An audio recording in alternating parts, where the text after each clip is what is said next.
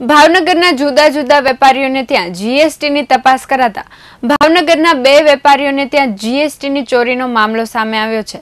તેમાં રથયાત્રા સમિતિના ઉપપ્રમુખ અને ભાવનગરના પૂર્વ નગરસેવક મનસુખ પંજવાણીની દુકાનમાં એક લાખની આજુબાજુનો જીએસટી ચોરીનો મામલો સામે આવ્યો છે. તો બીજા વેપારીને ત્યાં ચાર લાખની ચોરીનો મામલો જાણવા મળ્યો છે.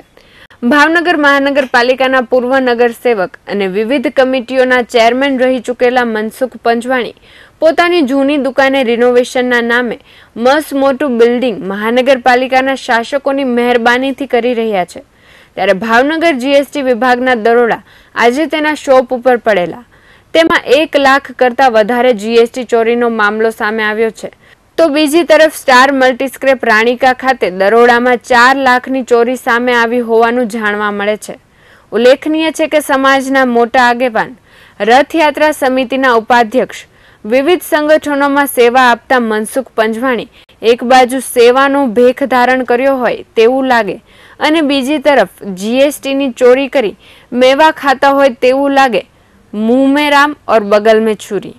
ભાવનગર મહાનગરપાલિકાના ભ્રષ્ટ શાસનમાં ઝીરો લેવલથી બાંધકામ કરવા માટે ભારતીય જનતા પાર્ટીના આગેવાનો અને ખીચામાં નોટું નાખે તેને કરી દેવામાં આવે છે. સાથોસાથ આજ બીજી વાત કરીએ તો અહીંયા પૂર્વ નગરસેવક પંજવાણી, મનસુખભાઈ પંજવાણીને ત્યાં આજે જીએસટીની પહેલી વાર રેડ પડી છે. કદાચ એ પણ કદાચ ભીનું સંકેલાઈ જાય.